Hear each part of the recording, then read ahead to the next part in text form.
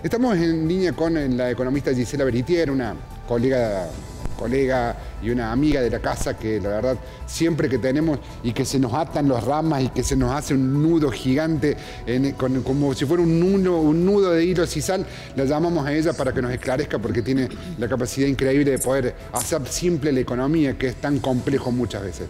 Em, así que ya está con nosotros. Gise, querida, ¿cómo estás? Chelo Meloni te saluda. Aquí estamos con Germán y con Ernestina. ¿Me escuchás? Sí, los hermanos. Ernestina, ¿cómo están? Bueno, gracias por la apreciación. No, por favor. Eh, eh, dice, bueno, a ver, ¿qué, podemos... Muy bien, ¿ustedes? Muy bien. ¿Qué podemos, qué podemos, eh, cómo podemos explicar estas medidas? A ver, ¿tienen algún tipo de explicación? ¿Cómo lo podemos explicar? Bueno, una primera apreciación tiene que ver con la negociación que está cerrando Massa con el Fondo Monetario Internacional. Aparentemente, eh, todas estas negociaciones o la rigidez que viene planteando, por un lado, Sergio Massa a la hora de las medidas, no eh, estarían surtiendo efecto y, tiene que volver sí. de algún modo sobre sus pasos. Por eso 4.0. Y la otra medida sería un impuesto a las importaciones. El dólar soja 4.0, volvemos eh, a, que está apuntando justamente a poder mantener las reservas del Banco Central, reservas que, como bien sabemos, están muy, muy, muy deterioradas.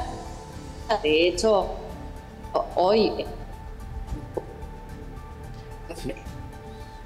este, justamente un pago por 1.300 millones de dólares, estaríamos en el orden de unas reservas negativas de 7.600 millones de dólares. Otro contexto pero sería, si se quiere interpretar, como una especie de tipo de cambio diferencial, pero también sería una devaluación para ciertos sectores.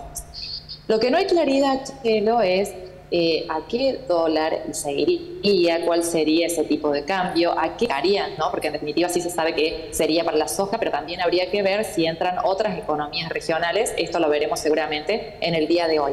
Y paralelamente, bueno, esto apunta a mantener las reservas y también poder dotar de una mayor competitividad al tipo de cambio con un fondo monetario que no quiere que los dólares que pueda llegar a otorgar se vayan como si nada antes de que llegue el próximo gobierno. Claro. Y luego tenemos este, este dólar al importar. Eh, estaba pensando, dice... Que bueno, que lo que implica es justamente que haya más trabas, eh, sea más caro eh, importar y por lo tanto también cuidar más las reservas.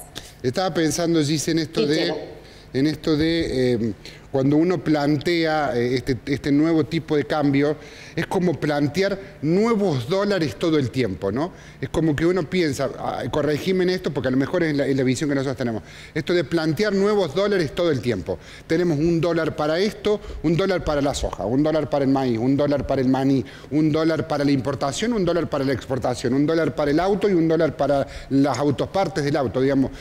¿Esto hace, qué, genera en el ámbito empresarial? Hace poco, ¿qué, genera este tipo de, de, oferta o este tipo de decisiones políticas? Son distintas maneras de poner dólares diferenciados, ¿no? En realidad uno puede establecer los valores del dólar, como pasa con estos dólares soja que se usan por unos meses también, pero después viene al poner impuesto, lo que se hace es fijar valores diferenciales del tipo de cambio. Esto finalmente genera distorsiones en la economía y también incentivos que a lo mejor no son los mejores, ¿no? Esto de repente de que si yo tengo un mejor tipo de cambio para la soja que para la tecnología, termino produciendo soja en vez de tecnología que es mucho más rentable. Con lo cual, eh, bueno, eh, todo lo que es economía del conocimiento termina siendo afectada, ¿no? Esto es uno de los ejemplos de esas distorsiones que se generan. Por eso, una de las cuestiones, en definitiva, que se estaban, o en realidad que el Fondo Monetario pedía, que hubo rumores la semana pasada, que eso disparó el dólar blue esta semana, era el, eh, el tema de que tiene que haber una unificación cambiaria. ¿Cuál es el problema? Que una unificación cambiaria implica levantar el cepo. Y hoy en día, si se levanta ese cepo, no creo que vengan muchos dólares, sino que se van a ir los pocos dólares que quedan. Entonces el riesgo es, ante una unificación cambiaria, primero, ¿cuál sería el tipo de cambio que se fije?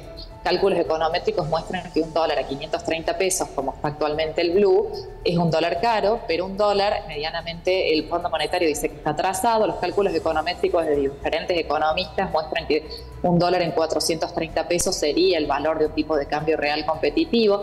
Pero bueno, toda esta determinación son cosas que se tienen que ver y que en definitiva no va a ser materia de este gobierno, sino del próximo, ¿no? En un masa que, bueno, que en realidad está en un rol bastante complicado porque por un lado tiene que negociar para ahora, que es lo que va a pasar hacia fin de año, y por otro lado, eh, promesas de campaña que muchos dicen por qué no lo hace ahora.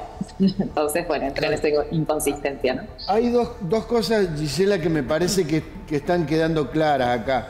Esta devaluación encubierta va a traer más inflación, ¿no? Porque al encarecer las importaciones, seguramente, y al encarecer las exportaciones también, seguramente van a pegar en los precios internos.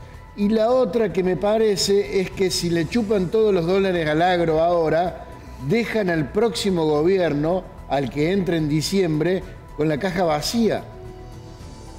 Bueno, con respecto a la inflación, claramente es así, pero volvemos a decir que eh, para Massa en realidad la inflación no fue nunca el tema principal de su gestión, como lo estamos viendo, con tasas de inflación del 7, del 8%, sino el tema de los dólares y para que la economía en definitiva no se pare por falta de combustible. O sea que la prioridad masa no es la inflación, sino los dólares. Esto en primer lugar.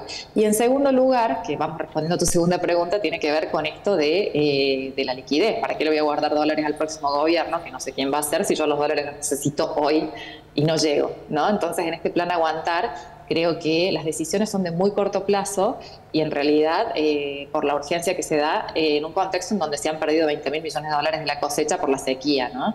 Entonces, eh, todos estos escenarios también cambiaron en función de eso y creo que hoy la urgencia demanda que el ministro este esté pensando en cómo llegar hacia fin de año en, un gobierno donde no sabemos en realidad, ya lo veremos en las próximas semanas con las PASO, quién se termina perfilando para las elecciones generales, ¿no? Pero bueno, este gobierno creo que, que, allí está haciendo esa apuesta también con respecto a ver si, si llega o no, ¿no?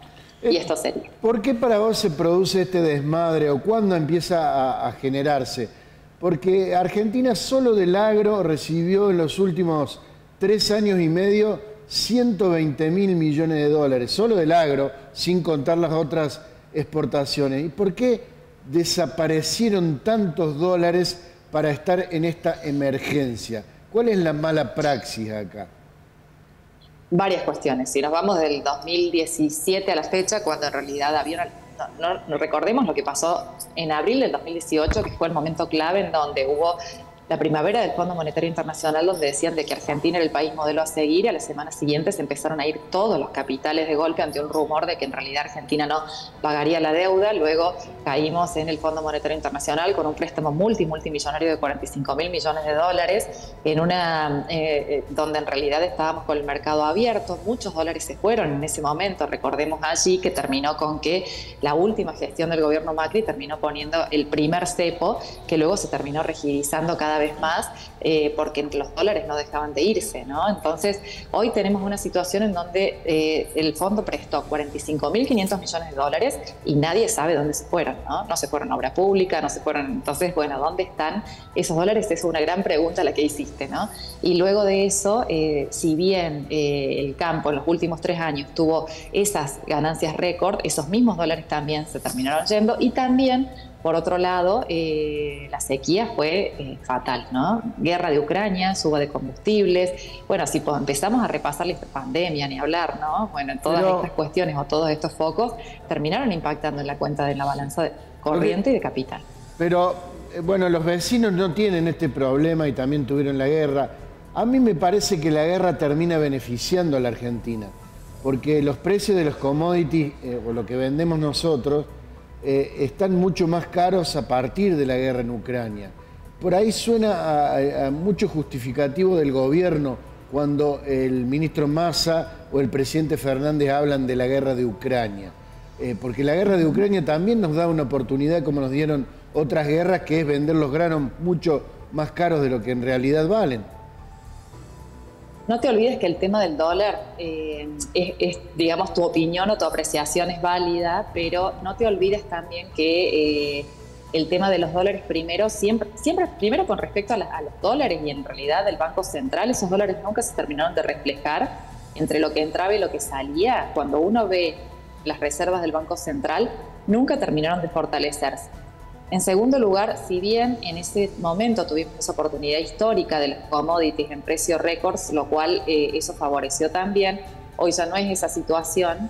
Y por otro lado, impactó muy fuertemente a nivel mundial todo el tema de los combustibles, ¿no? Tenemos el tema de España, eh, que, que, en realidad están muy complicados con ese tema, Francia también, cuando uno, por lo menos eh, he tenido posibilidad de viajar y estoy teniendo posibilidad de viajar y ver las realidades de otros países en los cuales el aumento de los precios de los combustibles los ha impactado mucho.